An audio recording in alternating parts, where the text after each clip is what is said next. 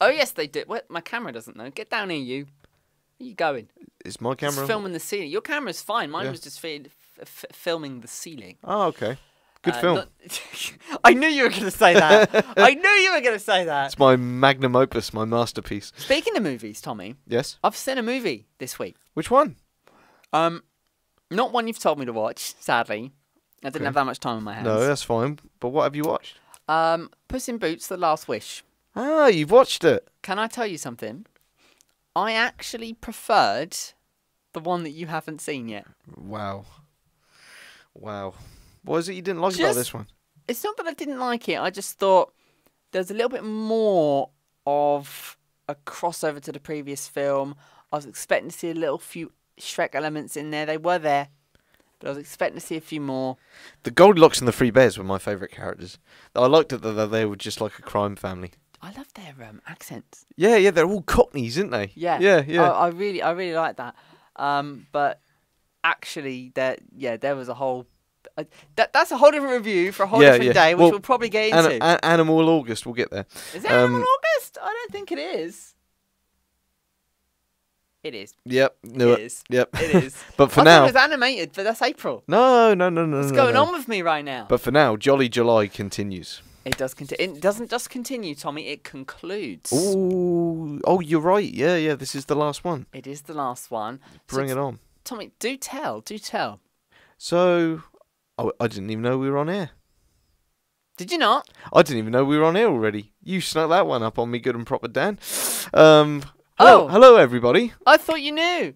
Hello, YouTube.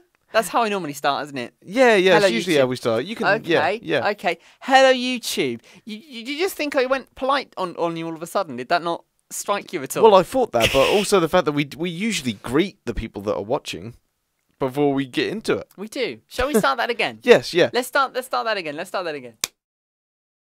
Marker. And go. Hey, good reference. Yeah. Hello, YouTube. Welcome aboard. Hello. I'm Dan. That's Tommy. You know that by now. Thanks for tuning in.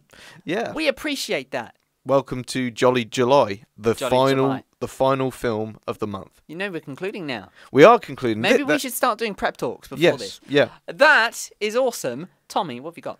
So I've gone for a comedy this time round, Dan. I've gone for a, of of- it's more of a cult film, really, but it's it happens to be a film that me and Cult film. Uh, yeah, yeah. Not many people really know about it. Not many people have seen it, but the people that have, me and you included, think it's a good one. Oh, we're the cult. We are the cult. We're the cult, right. This film is Kevin and Perry Go Large from the Ah, from the year 2000. It's a great. It's just a fun comedy, dude. And uh, yeah, let's get into this. Uh, so, cinematic adaptations of British comedy characters rarely work, as exampled by cinematic blunders like Mrs. Brown's Boys, the movie, the Oh, Harry, my. the Harry Hill movie, and the biggest curse upon humanity, Keith Lemon, the film. oh, Like these are awful films. They're awful films. But this film falls into the rare category I like to call films based off of British comedy characters that turned out quite alright, uh, alongside Bean, the ultimate disaster movie, which I love. You've seen that, right? I've seen that. Mr. Bean, the movie, Mr. when he goes to America and ruins the painting. Yep. Really good film. And the first In Betweeners film as well. I think that works very well. Yep. Um, I didn't to- quite enjoy that, to be honest. No, the first one. The second one is the one that's rubbish, I think. Okay. But but the first film actually uh, sticks the landing. Um, it's almost like you need to. yeah, I realise this with Mr. Bean, the In-Betweeners, and Kevin and Perry. It's almost like you need to take them out of the UK in their film for it to properly work. Because that's like those three films take the main characters and put them in foreign countries, and that's why maybe that's why they work so well. I don't know. Uh, but either way, they do. Um, I've been watching this British comedy gem since I was five years old. Whilst a lot of the crude jokes went over my head, I can safely say the laughs only furthered upon rewatches as I got older. And I'm sure it's the same for you as well, Dan. I will just say, um, they've just referenced Bean on the Yeah, yeah, yeah, yeah, because it's the same writer or producer, I think. Nice. Uh, but that, yeah, that's that's a great connection. What is key to this film working is Harry Enfield and Kathy Burke more than anything, as their portrayals of Kevin and Perry are timeless classic characters. Me and my whole family adore this comedy purely for those two characters that are both funny for entirely different reasons. Uh, Kevin is the cliche teenager who berates his parents every chance he gets and deems himself smarter than he really is whilst Perry is the polite but dim best friend who would follow Kevin off of a cliff, but his politeness is what brings a lot of his laughs. Hard to think this is a grown man and a grown woman playing teenage boys, but it just kind of works for the absurdity this film brings, don't you think? yeah. I didn't. I found that out quite recently, actually. Yeah, yeah, they were like 40 years old and were playing like, you know, teenage boys. It's, it's, it's, it's hilarious.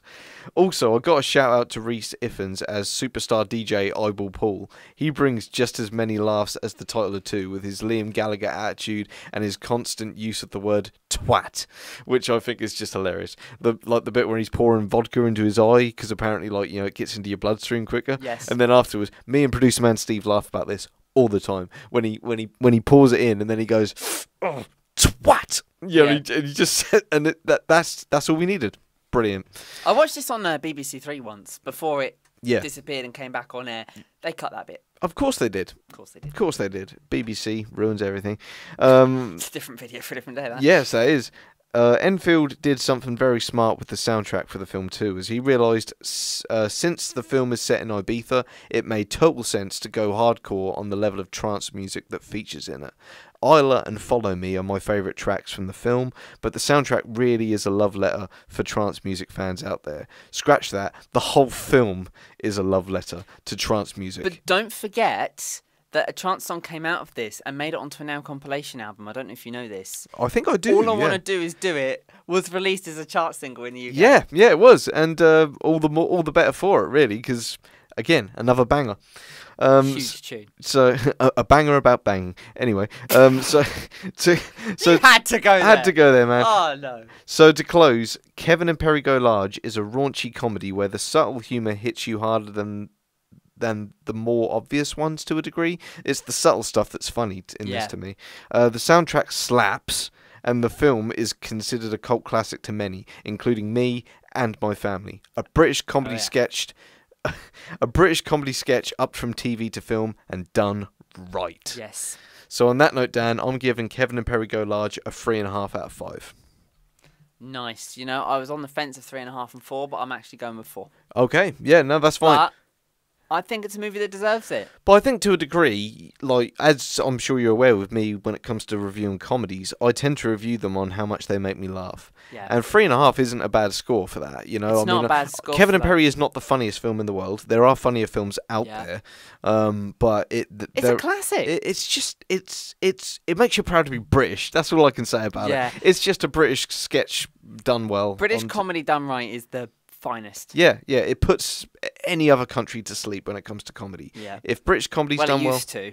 Yeah. Well, yeah. I mean, these days, you know, good Not luck. these days. Nah, yeah, But it used to. Kevin and Perry Go Large is in that era where it used one hundred percent. Yeah, and what a way to see out the month, Dan. Absolutely. So, Animal Org. I'm loving the sound of this. Yeah, yeah, yeah. I mean, uh, it, it it'll be very interesting, you know, to talk about films where animals are the uh, the- and and this could be animated and live action. Um, Or both. Or And both. that is why I want you to stay here. right. Not No. moving. No, no, no. I want you to stay here. What's the next line, Tommy? I. I fell into that one, into but that we're one. saving it for when I review it. Oh yes. oh yes. You fell into another one when you got to the studios today. Oh yeah, quite literally to You be fair. Yeah, yeah. If I'd have actually left the window open, you'd have fallen. For Let's give YouTube some context. Uh, Tommy arrived here at the studios. I was outside pretending that we got locked out. Was going to say that we're going to climb through the window. Uh, Tommy was all about ready, but I think my face just gave it away. And uh, and the yeah. fact that you pointed up to say a window was open and that window was not open. yes, I should have planned that a bit better. I never see your jokes coming down. Yeah, I'm gonna You try hide that. them too well. I'm gonna try that again in a few months' time. Well, yeah, we'll I'm gonna see. do it on a really snowy, blustery, cold day, so that you don't know Good luck with that that. I'm joking. anyway, You do that, I will smash you over the head with this. where'd you get that thing from? Don't know. It was here. What even is that? Don't know. It's like a keyboard, back of a keyboard. Key, a key, is it a key? Yeah, it's back of the keyboard. God knows. Join us next week the for our, back of a keyboard. join us next week for random IT knowledge with Tom and Dan. I didn't know the thing come off. It's, it's just laying there, dude. Fair enough. Anyway, we're in a room full of junk. This. You can like, comment, and subscribe if you love Tommy's reviews and want to maybe challenge some of Tommy's views. It's, he's not right about everything, you know. Should he have been a little bit nicer with Kevin and Perry Go Large? Should he be allowed to do half stars? Should he be allowed on YouTube? That's all for you to decide, and you can do so in the comments. You like, comment, subscribe, and uh, you can click the notification bell as well. You know, if you've got nothing else to do with your life, you want to know when we're on, so you can watch us live every time. You can do that too.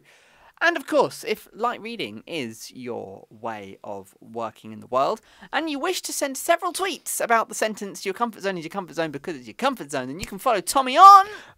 Larkins95 on Letterboxd.